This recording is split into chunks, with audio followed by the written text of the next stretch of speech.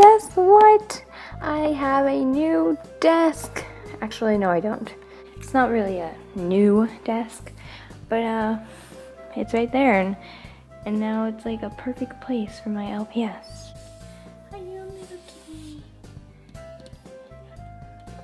Anyway, what am I talking about? Um, oh yeah. Hey guys, LPS Winterberry here, and welcome to another Science Time episode thing. So, and this time I'm going to show you how to make a rainbow. Yay! Because, you know, we all love rainbows. Then, we all love rainbows, don't we?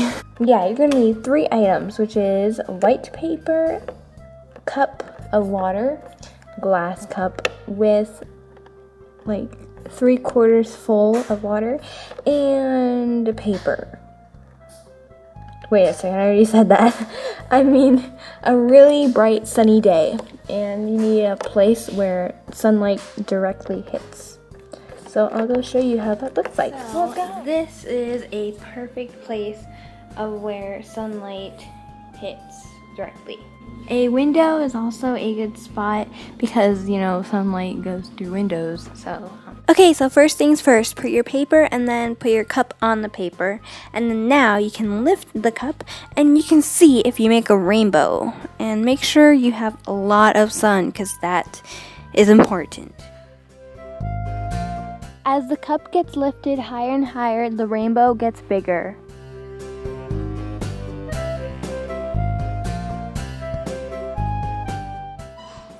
If you can see a rainbow, then you did it right. But if you can't, then go to a different spot that has even more sunlight.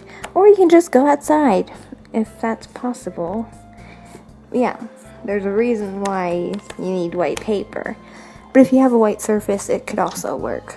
So now you never have to wait for a rainy day and sun to see a rainbow. So thank you guys so much for watching and also I still want to say thank you for a thousand plus subscribers because that was like awesome. So see you next time. Bye! Hi there, if you're new to my channel, it would be a great idea to subscribe. Check out my second channel, which is LPS Anime MV. Down below are my social media names. Please be optimistic and don't leave any negative comments. Thanks for watching. Bye.